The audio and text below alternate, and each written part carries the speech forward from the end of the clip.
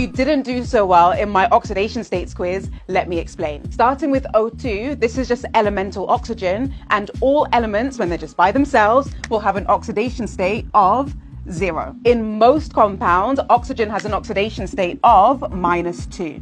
And we can double check that because hydrogen has an oxidation state here of plus one, two of them, and the overall charge of the molecule is neutral. And so the oxidation states need to cancel out. F2O, it's going to take the minus one oxidation state.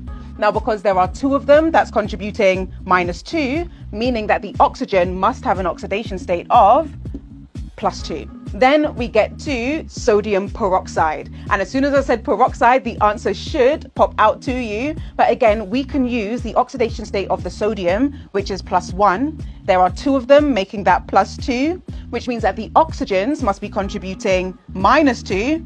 There are two of them, so that means each must be, must have an oxidation state of minus one. And finally, is it a bird? Is it a plane? No, it's a superoxide. Here we have NaO2, where again the sodium has an oxidation state of plus one, meaning that the oxygen is contributing minus one. There are two of them, which means that the average oxidation state must be minus a half.